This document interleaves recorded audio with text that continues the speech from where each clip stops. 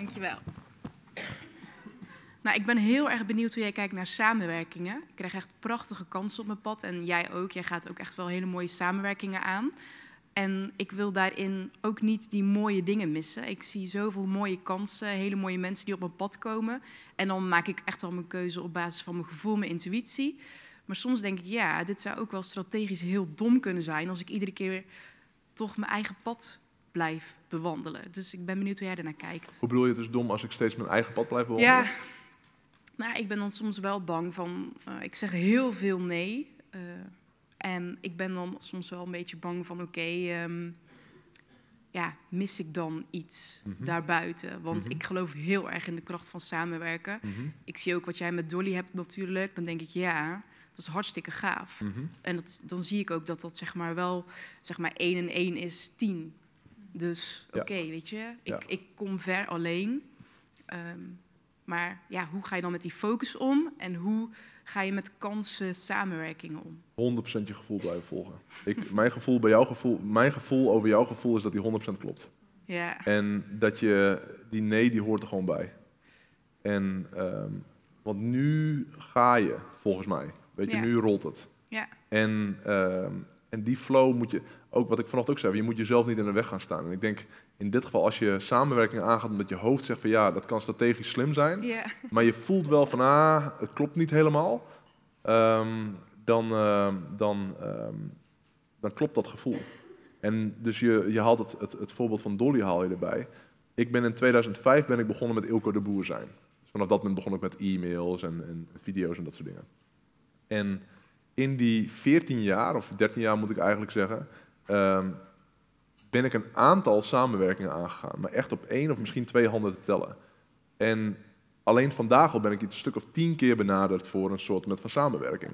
Eh, dus ik ben al een paar keer voor een podcast uitgenodigd vandaag. En, en met pijn in mijn hart, want vandaag ook met deze vibe denk ik, wil overal ja op zeggen, ik zeg overal nee op. ja. Dus als je mij iets vraagt dit weekend, ik zeg gewoon nee. Dus dan weet je dat gewoon. Ehm, maar ik zeg nee, omdat ik, ik weet ook van ja,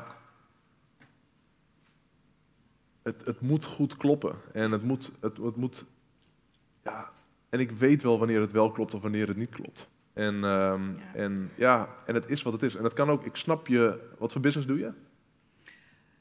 Ik heb een hele grote switch gemaakt, maar wat ik nu doe is dat ik eh, online ondernemers eh, begeleid in eh, het beter zorgen voor zichzelf en daarin het beter inrichten van hun online business, het opruimen, zorgen dat ze zich kunnen focussen op de essentie, op wat zij te doen hebben. Ja, Kom me bekend voor.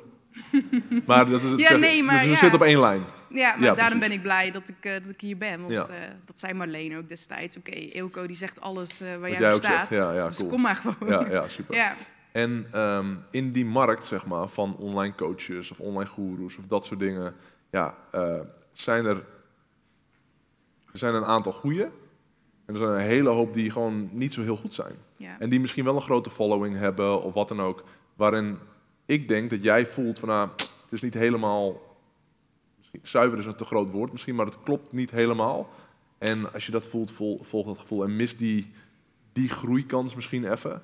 Als het nu al goed gaat, weet je, blijf gewoon die consistency aanhouden. En, ehm, en niet, niet, er zijn zoveel artiesten zonder repertoire. En, en ja, om daar echt, echt korte termijn winst uit te gaan halen, dat is hem volgens mij voor jou niet. En ik heb precies wat jij voelt en denkt, heb ik, ik denk er, ik heb er zo vaak over nagedacht. Van, ja, moet ik mezelf meer openstellen voor dat soort dingen? ja. En, ehm, en, eh, en ik heb nu sinds een tijd lang heb ik eigenlijk geaccepteerd van ja, ik ben een soort met van outlier. Ik ben anders dan anderen. Ik hang niet door de week met andere goeroes uit Nederland.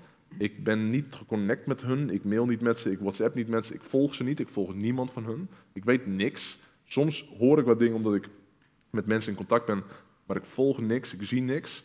En dat is geen advies, maar dat is zeg maar wat ik heel fijn vind, waardoor ik dicht bij mijn gut feeling kan blijven en ook zuiver kan blijven en ook goeie, mijn goede dingen kan delen. En ehm, ik denk dat je gevoel 100% klopt.